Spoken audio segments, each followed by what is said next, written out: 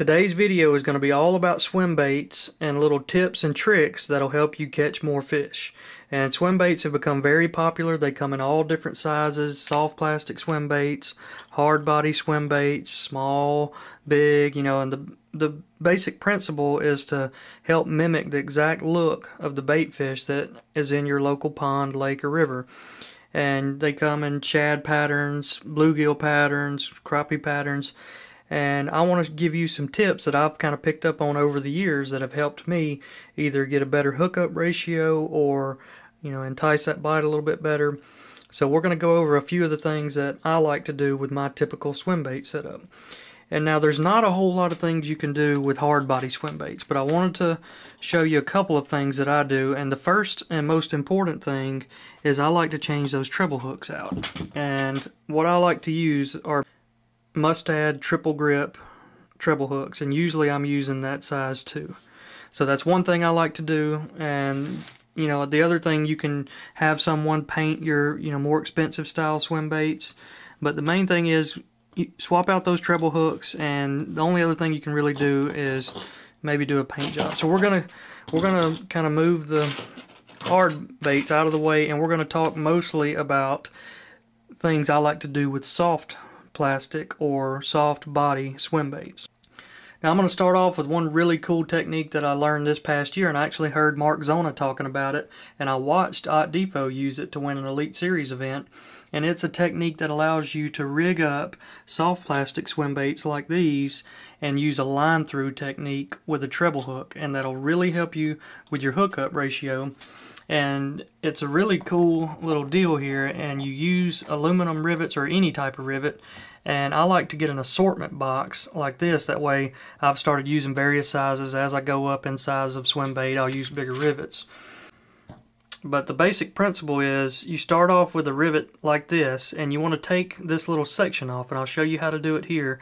This is the style that I like to I just like to nail the nail in a piece of wood and then use a pair of pliers to get that rivet off of that nail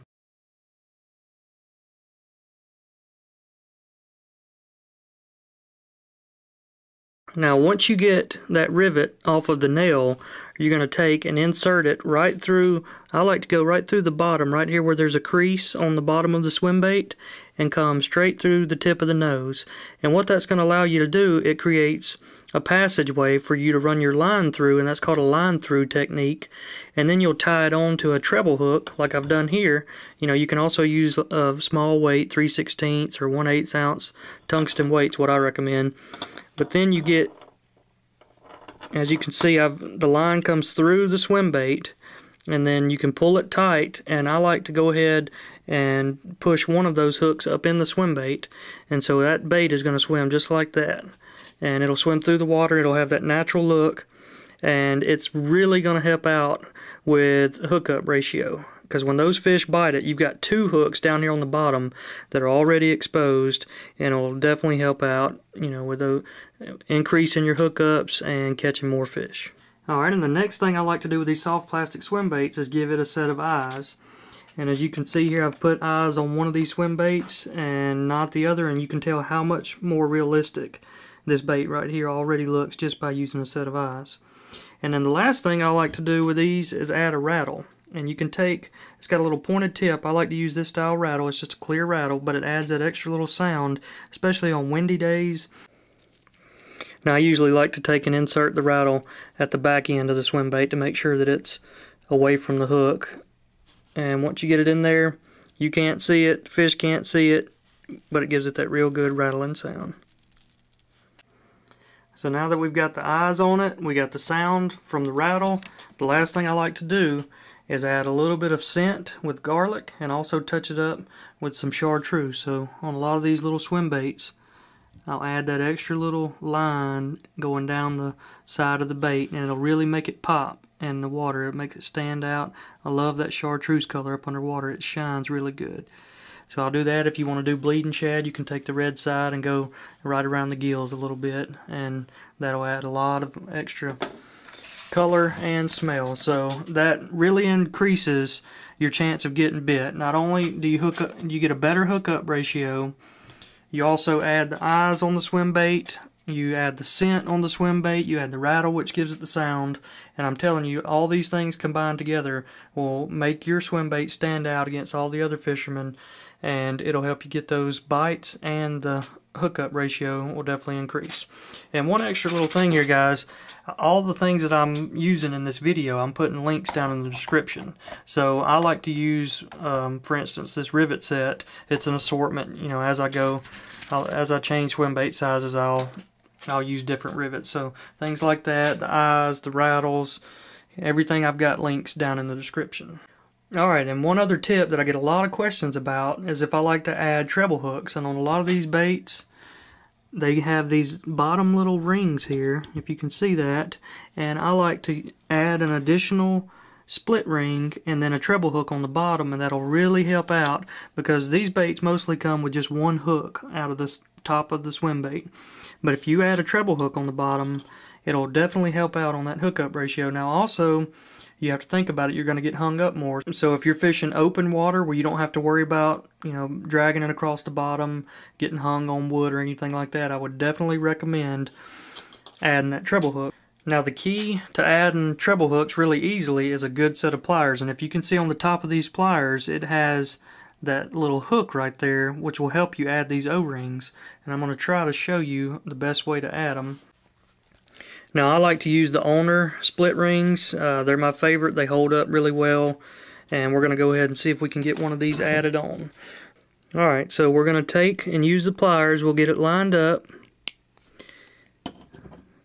split it just like that and then we're going to attach that to our little metal ring down here on the bottom of the swim bait and you can see I've got it on there now. Sometimes it'll take you a couple times.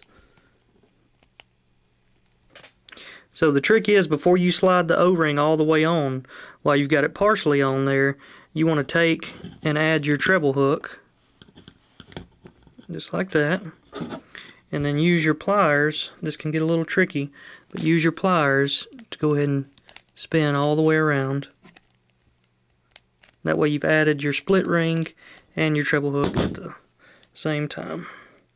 And that will definitely increase your hookup ratio on these bigger swim baits. So that's going to wrap this video up.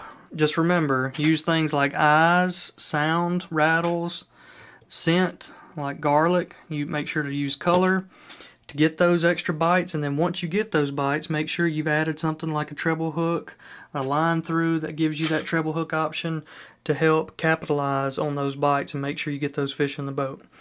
So all of this stuff is linked down in the description. And also if you haven't been to our website bamafrogs.com we have some holiday boxes where we're grouping things up like swim baits. We'll have a swim bait box, a frog box, a jig box, and they're all on sale and we've grouped everything together to help you shop for Christmas gifts.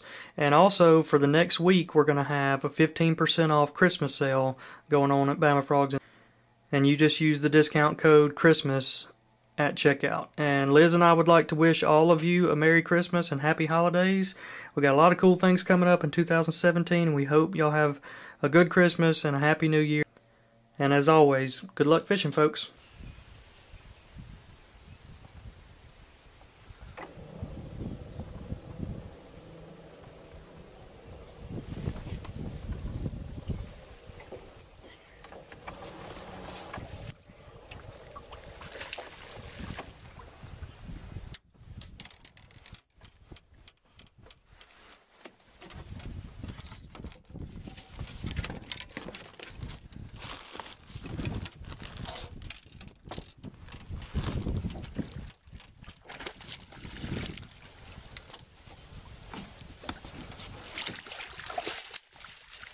All right.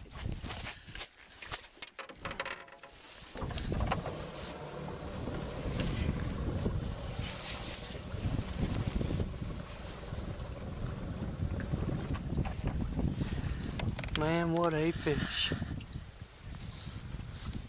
Spin it around, let me, let me show them what you got it on. She's fishing a swim bait. Look at the size of that fish.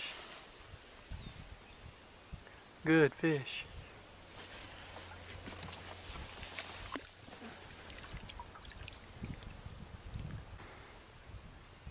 You let him go. He's going.